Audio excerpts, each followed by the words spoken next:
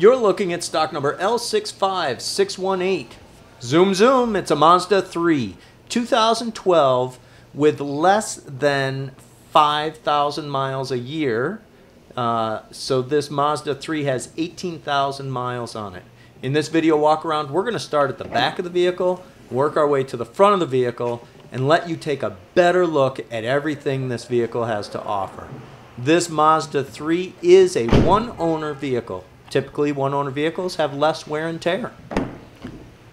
This is a great example in that this vehicle has had less than 4,000 miles a year for uh, its lifetime. Sorry, less than 5,000 miles a year. I did my math wrong there. So the back looks real clean. Uh, black cloth interior. Make our way up front. Power windows, power locks, power mirror adjustments, manual seat adjustments black cloth interior. We'll hop in and start it up. Starts right up. Audio controls mounted right there on the steering wheel. Cruise control on the steering wheel. And of course, you can get to some of your information uh, from the console there. Confirming the mileage at 18,516. Audio controls, heat controls, power connections, plenty of cup holders.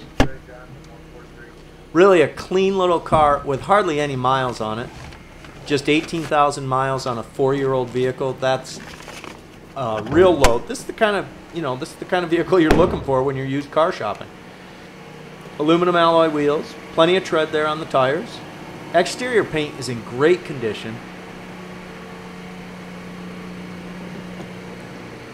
Pop the hood. Zoom, zoom.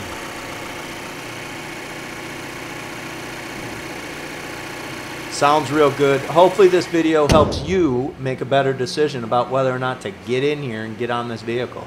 Give us a call, 876-0945.